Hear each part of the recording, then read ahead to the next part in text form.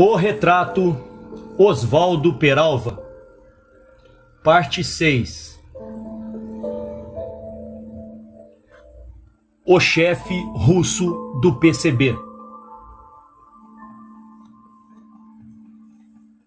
Quando se verificou a rebelião no seio do PCB, aí pelo segundo semestre de 1956, um companheiro do Comitê Central que lutou conosco contra a política dos dirigentes de então relatou-nos um fato pitoresco. Esse companheiro, cujo nome de guerra era Batim, muitas vezes vira retornar de Moscou um emissário do PCB. Entregar uma carta a Arruda e este, ao abri-la, exclamar com um ar de entre emocionado e misterioso. É o camarada Silva! Os circunstantes não perguntavam quem era o camarada Silva, mas tratavam de adivinhar e guardavam, ante aquela exclamação, um silêncio carregado de respeito. Silva, dizia Batim, com seus botões. É o camarada Stalin. Essa suposição se robusteceu quando, em começo de 1953, estando Stalin ainda vivo, houve uma reunião do Comitê Central do PCB para a primeira discussão do projeto do programa, que, aliás, só veio a ser publicado em fins daquele ano. Nessa reunião, Diógenes Arruda, que estivera em outubro do ano, do ano anterior na Soviética, na União Soviética, como delegado ao, ao 19 Congresso do PCUS, declarou que as teses centrais do programa brasileiro foram elaboradas pelo próprio Stalin, tendo Prestes dado apenas a forma verbal do documento nota de rodapé sobre essa, esse ponto. Eram quatro as teses principais. Um, concentrar o fogo contra o imperialismo americano e não contra todos os imperialistas. 2. Não preconizar a nacionalização da terra, que deveria ser tomada dos latifundiários e distribuída aos camponeses. 3 anunciar que seriam confiscados somente os capitais e empresas dos grandes capitalistas aliados aos imperialistas americanos. E 4. Apresentar a palavra de ordem de conquista de um Estado democrático popular. De pé, quase no meio da sala, com a barba por fazer, os cabelos cuidadosamente amarfanhados, a camisa de um tecido grosso de xadrez displicentemente caída para fora da calça, a arruda parecia assim, como a própria figura da simplicidade comunista. E Eilo, de súbito, abriu um caderno e anunciou a leitura das respostas dadas por Stalin às perguntas que lhe formulara lhe formulara. A plateia, quero dizer, o plenário, dependia de suas palavras. O artista tossiu um pouco, limpou a boca na camisa da manga e começou. Eu perguntei, lia uma pergunta, ao camarada Stalin e respondeu, lia a resposta. Então eu tornei a perguntar. Li outra pergunta. E o camarada Stalin respondeu. Li a resposta. A cada resposta, Arruda fazia um gesto com a mão e dava entonação diferente à voz, como a repetir o gesto e a própria voz de Stalin. Aquele, para nós, foi um momento de mística felicidade. Acabáramos de escutar a reprodução de um diálogo entre duas potências partidárias, através de uma conversa do grande Arruda com o imenso Stalin. Quanto a Batim, não teve mais dúvida. Para ele, o Silva que se correspondia com Arruda era o próprio Stalin. Mas Stalin morreu. E Arruda continuou a receber cartas, anunciando entre emocionado e misterioso: É o camarada Silva! Aí o Batim ficou estupefado, pois o Silva, isto é, Stalin, não tinha morrido. Ah, desconfiou. Silva é o pseudônimo do chefe do partido, do secretário-geral do PCU, seja ele Stalin ou Malienkov. Silva agora é o camarada Malienkov. Somente em janeiro de 1956, ao chegar à capital soviética como delegado fraternal do PCB ao 20 Congresso, é que Batim pôde conhecer o verdadeiro Silva. Era um homem de cara sardenta, com um jeito de camponês, altura mediana, na casa dos 40. A fala era pastosa, engrolando um espanhol de estudante do primeiro ano. Arruda fez as apresentações. Botim, aqui o camarada Silva. E vendo o pasmo na cara de Batim, acrescentou: O camarada Silva Lobo.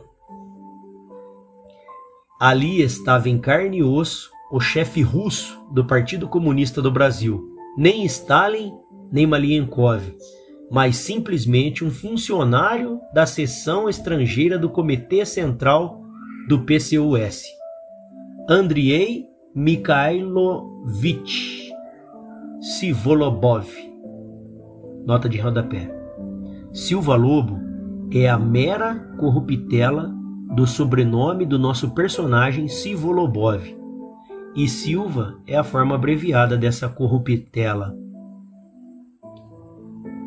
Era como se ele e não com Stalin que Arruda se entendia. Era dele e não de Stalin que recebia as instruções. A cena na, das perguntas e respostas na reunião do CC do PCB não passou de uma farsa. Parece certo, no entanto, que as teses centrais do programa do PCB são realmente soviéticas, obra talvez do próprio Stalin. A elas, sobretudo, é que se referem às palavras de Prestes, escrita por ocasião da morte do, do tirano soviético. É, abre aspas. Os ensinamentos de que tivemos a aventura de receber do camarada Stalin Fecha aspas. Mas é certo também que não foram transmitidas diretamente à Arruda pelo senhor do Kremlin, que não costumava rebaixar-se a tanto.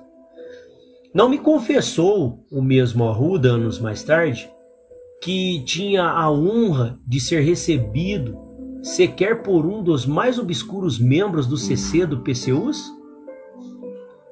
Que a honra máxima era ser recebido pelo chefe de Sivolobov, o príncipe Korianov? Falar de Sivolobov é falar das relações entre o PCUS e o PCB. Essas relações que ficaram interrompidas desde o início da Segunda Guerra Mundial e de modo oficial a partir de 1943, quando Stalin mandou dissolver a Internacional Comunista, Comintern, foram relatadas, foram reatadas em 1949, quando Arruda compareceu a um congresso dos comunistas tchecoslovacos, em Praga. Através do PC tcheco, que convidou representantes de quase todos os partidos comunistas do mundo, Stalin tratou de recolher os fios que antigamente atavam ao Kremlin esses partidos. Dois anos antes, em setembro de 1947, ao realizar-se na cidade polonesa de Sklarska Poreba, a primeira reunião do Comiform, Andrei Janov, chefe da delegação russa, disse que a experiência mostrava um tal isolamento do PPCC. Não é justo, é nocivo e substancialmente falso. Agora, além de tudo, havia o perigoso precedente da Iugoslávia rebelando-se contra a tutela soviética. Daí a urgência de vincular de novo, diretamente a Moscou, esses partidos comunistas disseminados pelo vasto mundo. Entretanto, dessa vez, a ligação não foi estabelecida. A Ruda só podia tentar uma abordagem aos russos através do tradutor tcheco, ao qual só podia servir-lhe de intérprete com ordem expressa de Geminder, chefe da seção estrangeira do PC tcheco. E este teria, sobre vários pretextos, obstaculizado e tornado impossível então um contato com os soviéticos. Quando Geminder, mais tarde, foi fuzilado juntamente com Slansky e outros dirigentes, sob a acusação de titismo e sionismo, Arruda me disse: Estou viajando. Foi esse patife que sabotou a ligação do nosso partido com o PCOS. Menos de um ano depois do Congresso de Praga, no entanto, efetuou-se a ligação. Observe-se que nessa época o PCB havia sofrido vários reveses, tendo perdido uma após outra as posições legais conquistadas nos anos de 45 e 1946.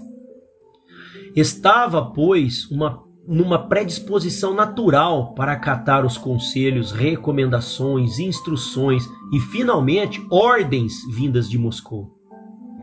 Era uma nova forma de trabalho para aquela direção, ser comandada pelos comunistas soviéticos que tinham longa, rica e vitoriosa experiência revolucionária. Essa experiência, reconhecida e acatada, representava uma das fontes de submissão do PCB ao PCUS. Outra fonte, o apoio estatal que ele podia dar e dava o PCUS, proporcionando aos comunistas brasileiros e seus simpatizantes e aliados constante viagens à Europa e à Ásia, gratuitas e com magnífico trato em matéria de hospedagem e de incensamento, em particular no que diz respeito aos simpatizantes e aliados, o PCB gozava sim do prestígio de genuíno embaixador de uma grande potência, que além do mais era cabeça dirigente de numerosos países europeus. A terceira fonte dessa submissão se achava na promessa soviética de ajudar, no momento oportuno, as forças comunistas brasileiras em caso de guerra civil. Certa vez, na escola, Sivolobov declarou, com todas as letras, que não seria difícil enviar armas, em meio a carregamentos de trigo, para lançá-las em algum ponto determinado da costa. O fato é que desde então 1949 a 50, as tarefas principais dos comunistas brasileiros passaram a ser reflexo e parte das tarefas internacionais.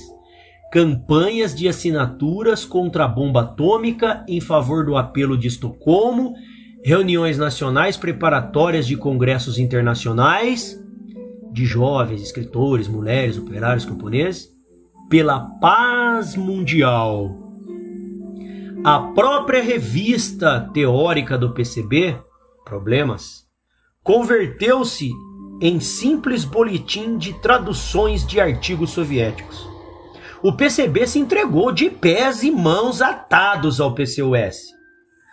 O supremo dirigente dos comunistas brasileiros passou a ser Sivolobov. De dois em dois meses, no máximo três em três, mas em certos períodos, até uma soma ou duas vezes por mês, ia um alto dirigente do PCB transmitir um informe a Sivolobov. Levava livros, revistas, materiais estatísticos, ficava por lá 10, 15 dias e regressava com novas ordens. Passaram também a visitar a União Soviética delegações de todos os tipos, jovens intelectuais, mulheres, juristas, organizadas pelo PCB, mediante instruções de Sivolobov.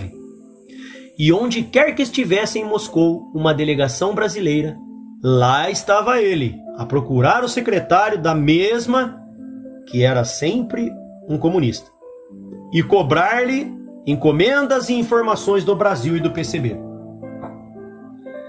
Dessa época para cá, pelo menos até antes dos acontecimentos que culminaram com a cisão do comunismo no Brasil, não houve um só documento considerado de importância no PCB que não tivesse sido submetido à apreciação desse Volobov e recebido seu imprimatur antes de ser divulgado.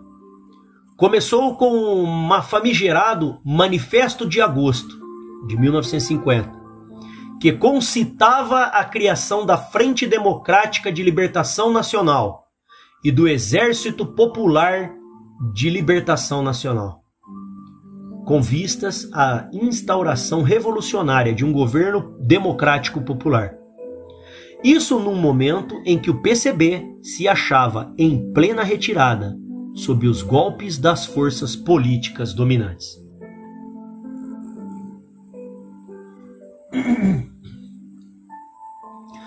Pude verificar, não só como auxiliar da direção do PCB no Brasil, como na escola em Moscou, e depois em Burô de Informação, em Bucareste.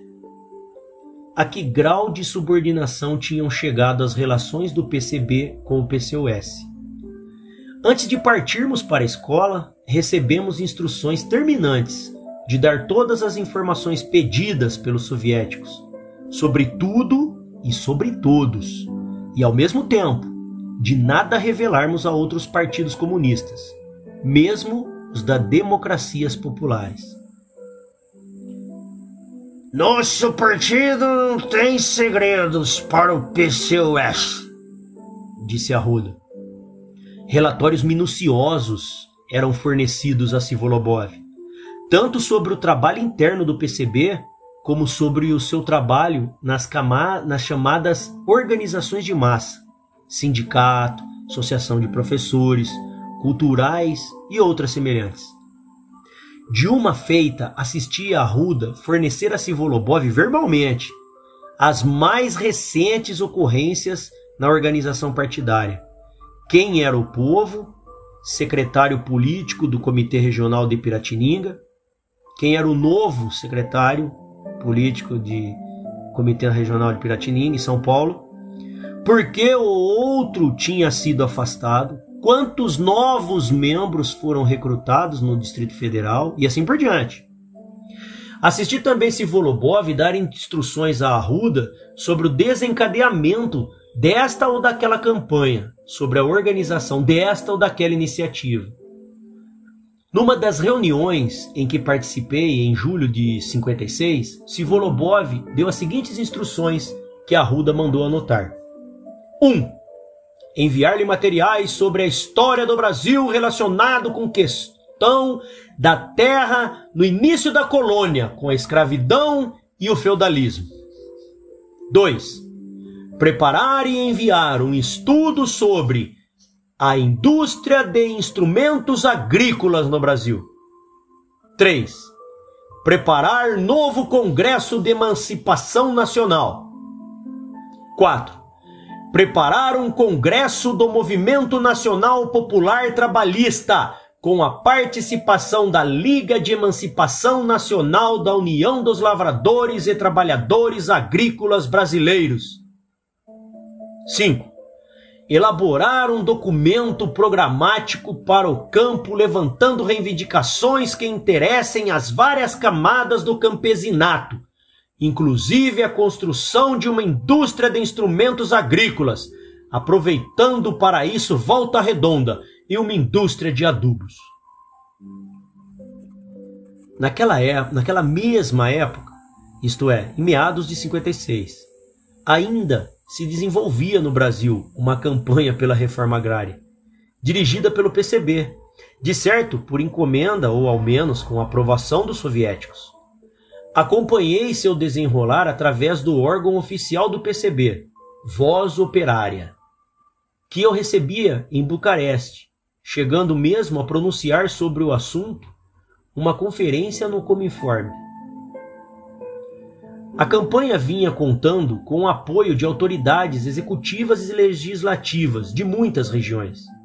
Creio que isso assustou um pouco Sivolobov, pois o objetivo comunista da campanha não era reforma em si, mas a agitação que pudesse provocar entre os camponeses.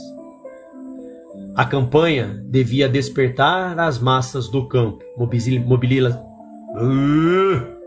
mobilizá-las levá-las às lutas parciais, para um posterior coordenamento dessas lutas com os movimentos das massas trabalhadoras urbanas, tendo em vista finalmente a insurreição e a tomada do poder e a instauração do governo democrático popular. Só depois disto é que seria feita a reforma agrária nos moldes comunistas. E o que assustava Sivolobov é que a campanha organizada pelos comunistas pudesse conduzir à realização da reforma agrária pelo governo brasileiro. E ele advertia: Isto é muito sério. Pode acontecer ao PCB o mesmo que aconteceu recentemente ao PC japonês. Os camaradas japoneses levantaram a bandeira de reforma agrária e o governo resolveu realizar a reforma, o que não era difícil, pois havia muito pouca terra para distribuir. O governo fez uma pequena reforma agrária, assim e afastou a influência do PCJ do campo, o que contribuiu para o isolamento ainda mais depois que já havia perdido para os socialistas as posições dirigentes nos meios sindicais. É elementar no leninismo que o destino da revolução nos países atrasados depende dos camponeses. Se o proletariado conseguir atraí-los como aliados, passará a exercer a hegemonia na revolução. Mas se os camponeses se tornarem aliados da burguesia, então esta é que terá a hegemonia. Tomem cuidado, porque se o governo burguês do Brasil fizer a reforma agrária, vocês não ficarão, vocês ficarão sem apoio no campo para a revolução.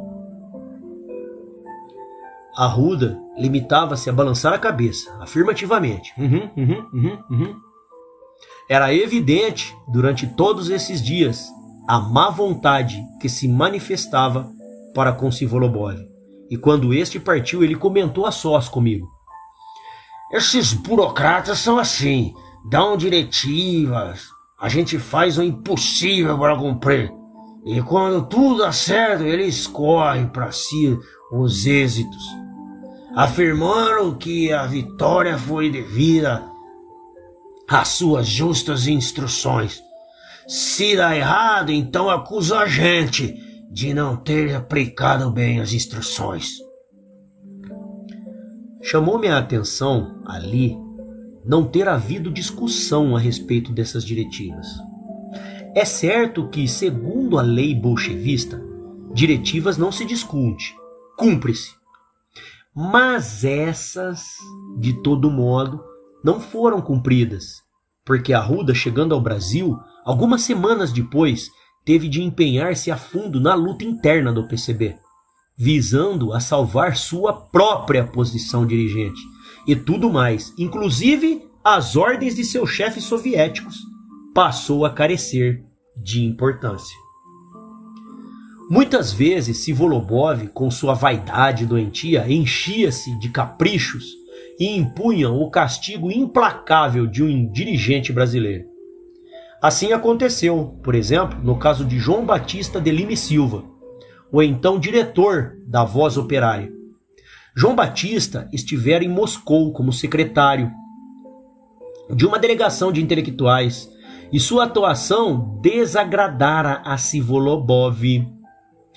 Quando este lhe perguntou certos pormenores da vida interna do PCB, Batista cometeu a inabilidade de responder que não tinha recebido autorização para informar sobre essas coisas. Putz.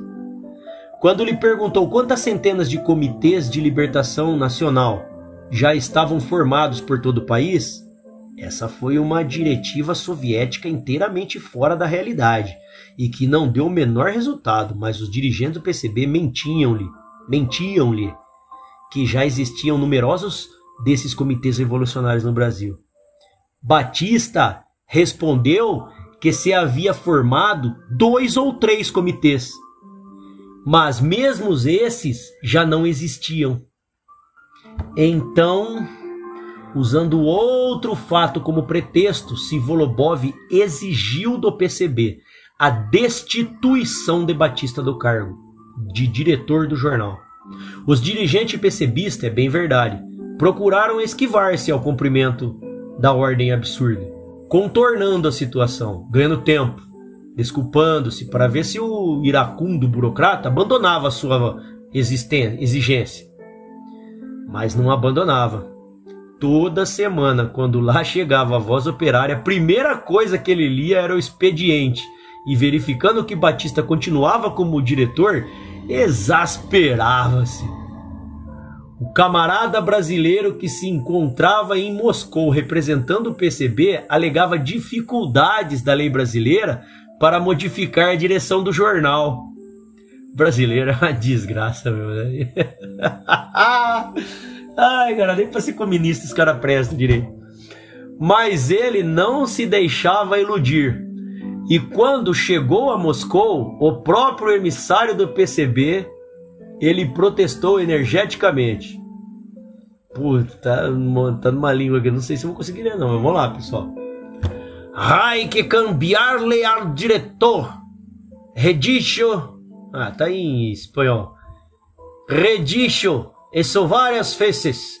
E sin embargo, Batista sigue como diretor del órgano central.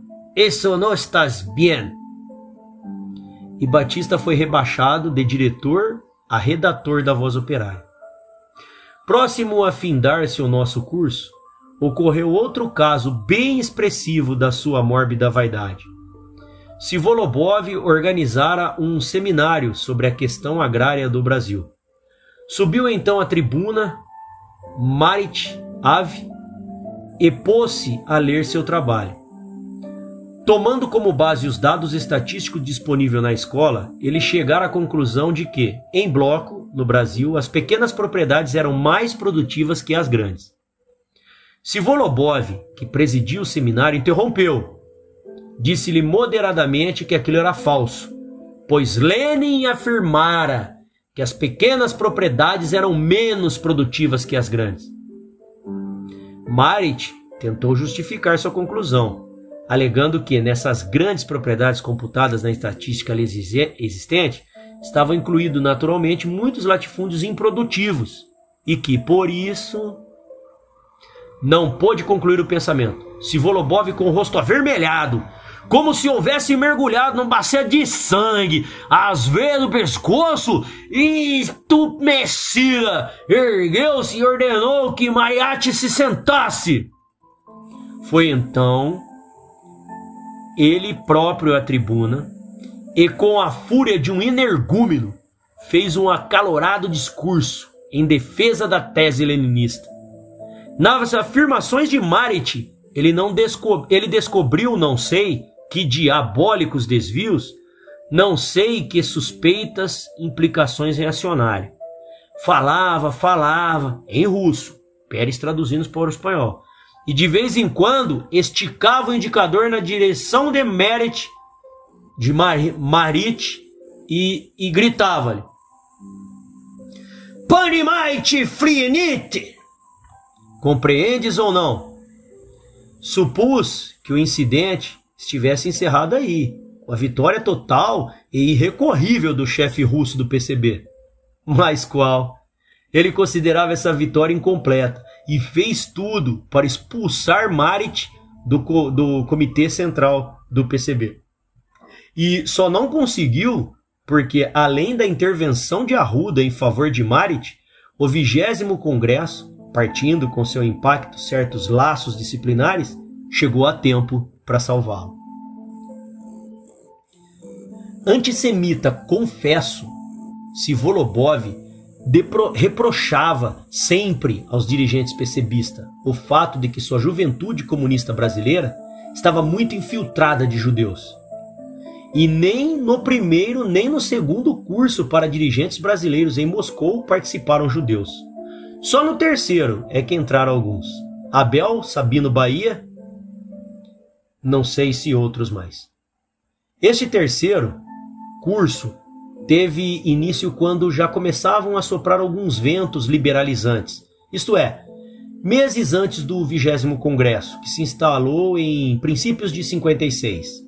Daí, provavelmente, que Sivolobov, Sivolobov tenha admitido a participação desses dois companheiros judeus. Mas ele nunca escondeu o seu antissemitismo.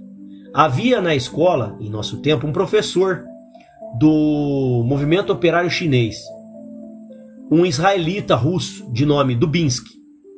O professor era, os professores eles eram designados pela diretoria da escola central, sem prévia consulta a Sivolobov. Mas este, quando via Dubinsky chegar, fechava a cara e certa vez resmungou, desabafando seu antissemitismo na presença de André Vitor. Aí vem esse judeu. Certo dia, em julho de 56, em uma conversa com Arruda e comigo, ele disse que o problema dos judeus na União Soviética não tinha solução. Alegou que o governo tentara congregá-los numa região central na União Soviética, mas isso não deu certo porque eles só queriam viver nas grandes cidades ou próximos do litoral e não mereciam confiança para habitar nas imediações de qualquer fronteira soviética. Por essa mesma ocasião, houve uma disputa futebolística entre uma equipe vinda de Israel e um selecionado soviético. Sivolobov, que nos levou ao estádio com ele, dizia os piores nomes contra os israelenses, mostrando continuar um judofob, isto é, um homem que tinha fobia de judeus. Muitos se espantavam de que Sivolobov, sendo de uma mediocridade iniludível, se mantivesse nesse posto por tantos anos.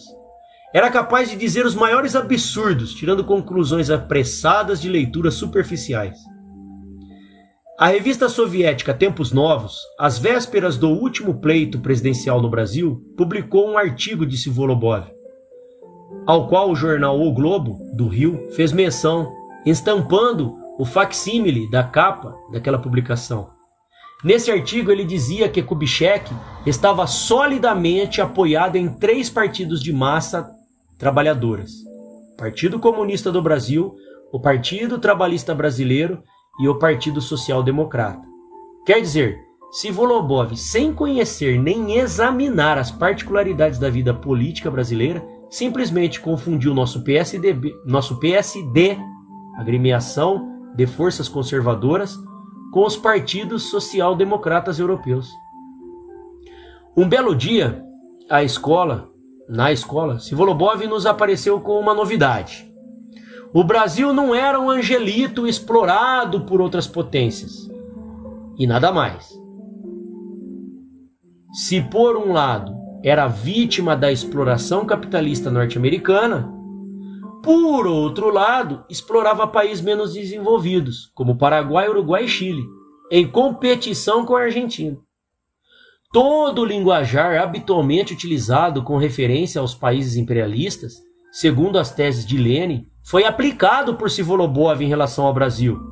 Falava mal do capital financeiro brasileiro na sua luta por esferas de influência e supremacia no sul do continente no papel dos monopólios brasileiros e na exportação de capitais para o Paraguai.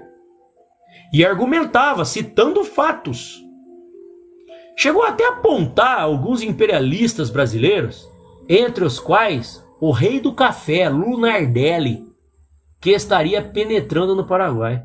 Só faltou mesmo citar as colônias brasileiras. Mas disso me incumbi eu, que em minha intervenção considerei os estados nordestinos praticamente como colônias in, do industrializado sul. E por fim, Sivolobov declarou o Brasil um país imperialista, no qual notavam-se contradições entre os grandes capitalistas brasileiros e os imperialistas americanos, na luta pelo predomínio em nosso mercado, na disputa do maior quinhão de mais-valia a ser extraída da mão de obra brasileira. Enfim, na concorrência para obtenção de lucros máximos do Brasil. Dias depois veio Yermolaev, que fazia parte da mesma comissão latino-americana, subordinada a Korionov. E sem se referir diretamente à tese de Silvolobov, procurou ridicularizá-la, afirmando que não se podia falar em imperialismo na latino-americano, a não ser como caricatura, confundindo com os grandes monopolistas internacionais alguns capitalistas ou latifundiários que monopolizavam plantações de café ou banana. Estabeleceu-se uma confusão. Perguntamos ao diretor como se explicava essa divergência, essa divergência entre os dois conferencistas. Afinal, nós, Brasil, éramos ou não éramos imperialistas, pô? Também explorávamos ou só nos deixávamos explorar? Isso para nós tinha uma importância menos política que psicológica. Todos notávamos que os grandes países capitalistas eram mencionados na escola, às vezes com ódio, mas sempre com respeito, ao passo que os países atrasados despertavam sempre compaixão misturada de desprezo. Era como se nos dissesse: que diabo! Vocês não fazem uma revolução proletária como os russos e nem sequer uma revolução burguesa como os americanos. Afinal, que fazem vocês?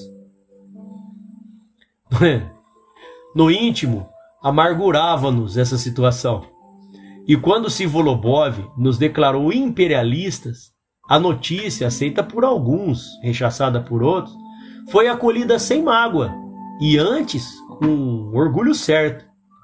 Tratavam-se discussões constantes a respeito.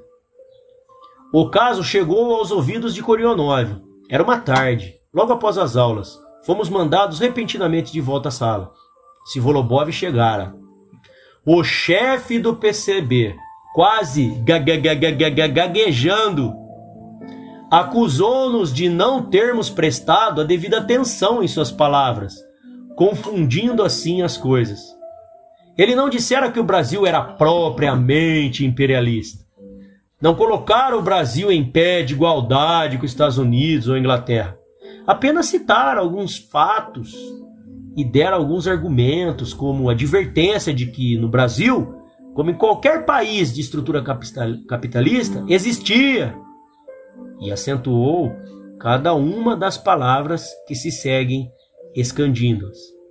Indícios, sinais, amostras, germes elementos não desenvolvidos de um futuro imperialismo.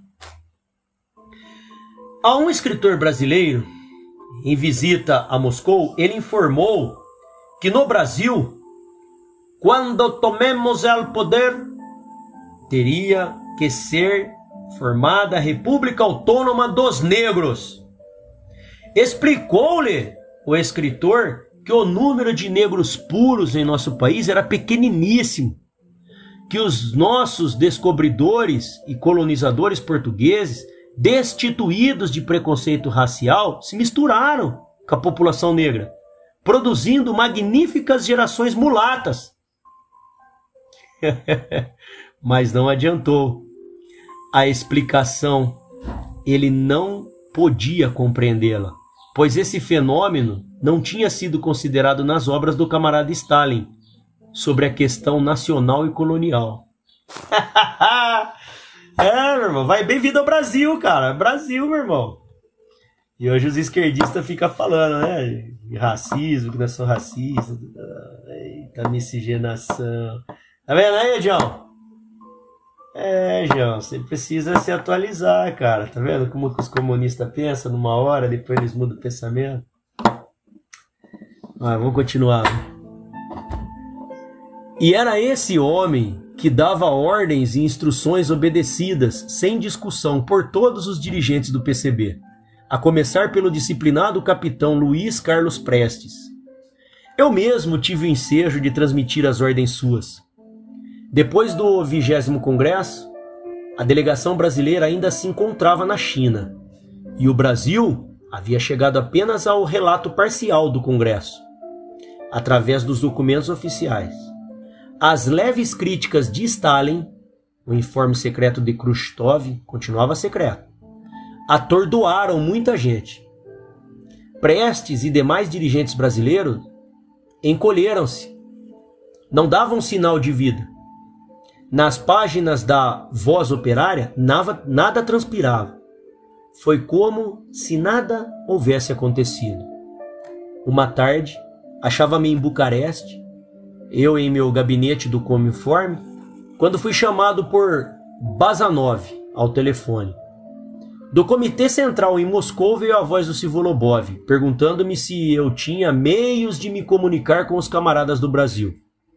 Respondi que sim, embora os meios não fossem muito seguros. Ele insistiu em que eu fizesse todo o possível para transmitir à direção do PCB sua profunda estranheza e seu profundo desagrado pela maneira com que a voz operária vinha tratando o vigésimo congresso. Isso é, com silêncio. Que era preciso escrever algo imediatamente.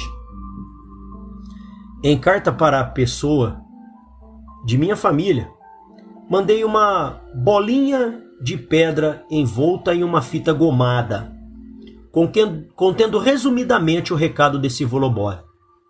Expliquei à destinatária que a bolinha devia ser entregue a um auxiliar da direção, cujo nome de guerra mencionei, para que ele passasse adiante. Tudo correu bem. Duas semanas depois, esperei preocupado e curioso que chegasse a voz operária, pois habitualmente ia para Bucareste, de onde eu recambiava a Moscou em avião especial do Cominform. Enquanto esperava, eu imaginei quem iria escrever o artigo ordenado por Sivolobov.